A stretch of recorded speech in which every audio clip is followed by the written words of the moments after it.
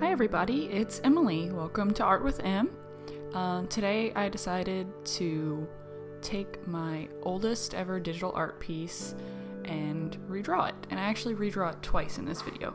Um, this piece I made on Sumo Paint about seven years ago, actually, a little over seven years ago, seven years and a month or so at this point.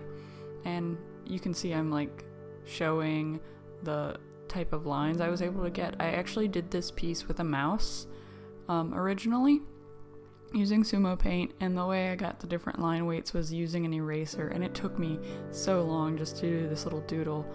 Um, I don't remember how long it took, but I just remember sitting there for hours to do this. Um, and I still think it looks pretty cute. Like, it's not the best, and I don't really know how to do chibi, but um, I still like the piece. Um, but I decided to redraw it because it's been forever. So on the right side of the screen, you can see that I um, did like a structural sketch based on the original, um, just to get the proportions right because these chibi proportions are so far off from what I currently do that I didn't think I'd be able to do it from scratch like this with the giant head. It's like almost a one to one head to body ratio, which is just ridiculous. Um, so I really think that those guidelines helped. Um, and then here I am just using a tablet to actually get line variation and just making making line art that's more in line with what my current style is. Um, and I definitely use more line now than I did in the original because let's be honest, it would have been even longer if I had done like any uh, suggestion of the strands of hair in the ponytail or anything like that. It it would have been way too much. But with the power of a tablet, I was able to get a lot more detail in the new chibi version. This was probably sped up too much for it to be visible, but I'm actually working at uh, twice the original canvas size just to get more of that detail in there because as I showed at the very beginning when I was zooming in and panning around the canvas, it's very low res and just a, it's a very small image so I scaled up the canvas size I believe to double. It might have been times four. I'm not entirely sure. Um, and once I finished the line art which takes forever because drawing hands are the worst. I have so much trouble with these like cutesy hands. Probably, I mean, I have trouble with normal semi realistic or realistic hands anyway because most people do.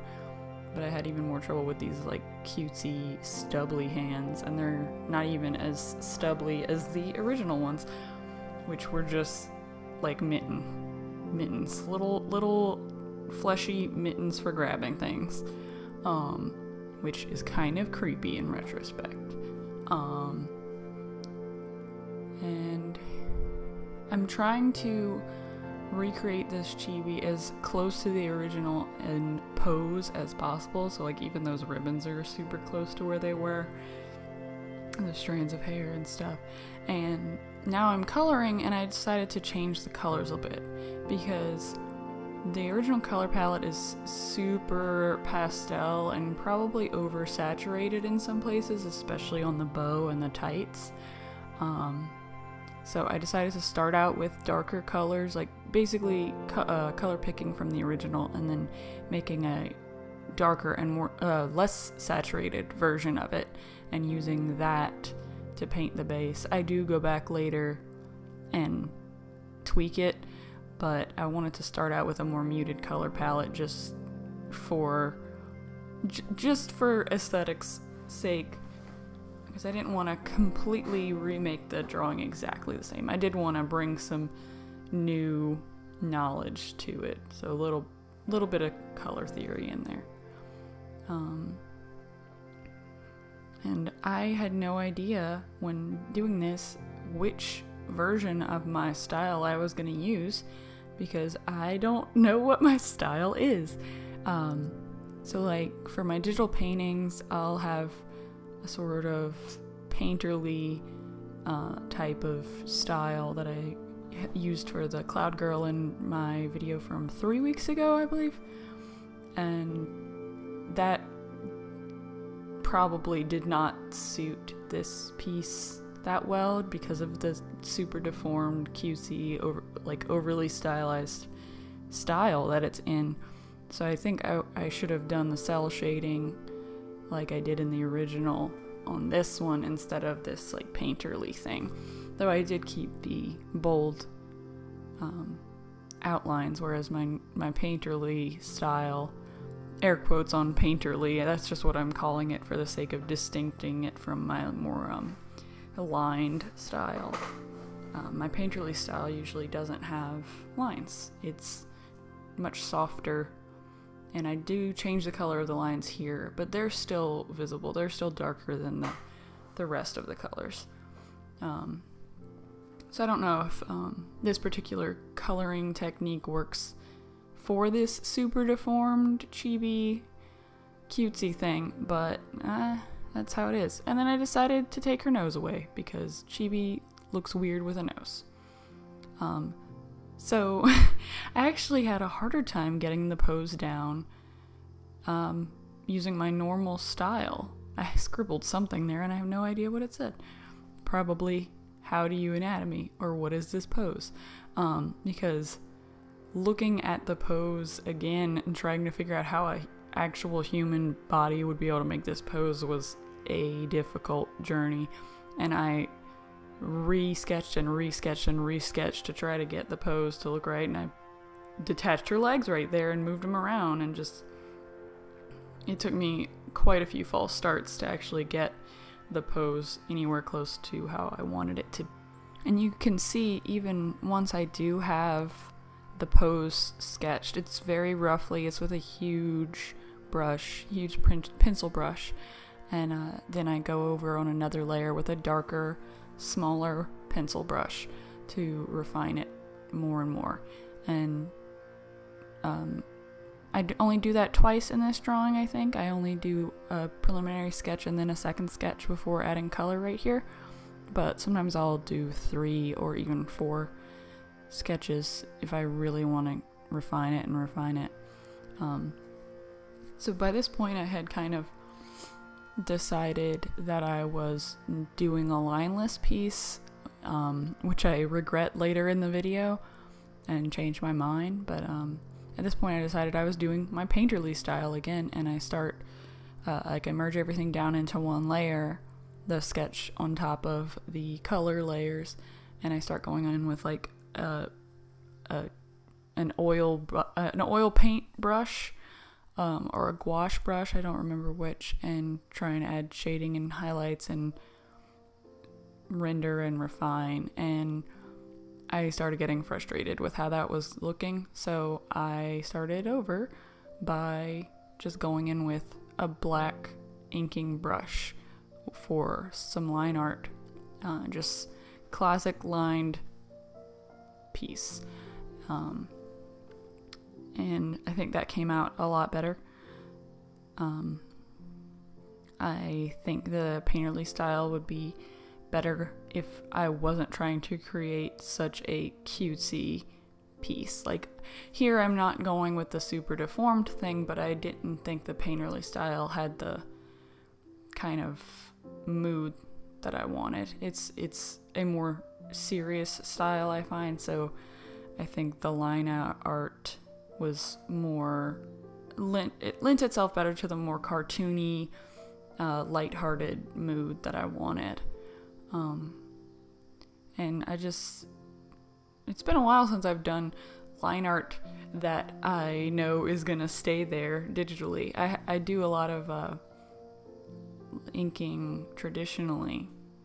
Um, I really enjoy that, but lately my digital pieces have been either 3D stuff for class or my more painterly ones. So it was refreshing to come back and just do some digital line art. I'm really proud of how this foot came out. I posted it on Instagram. I don't think I've ever drawn a foot this good ever. because feet are just as hard as hands, if not harder. That foot's pretty good too. Just really, I, I don't know. The the feet just happened. They just happened to work out.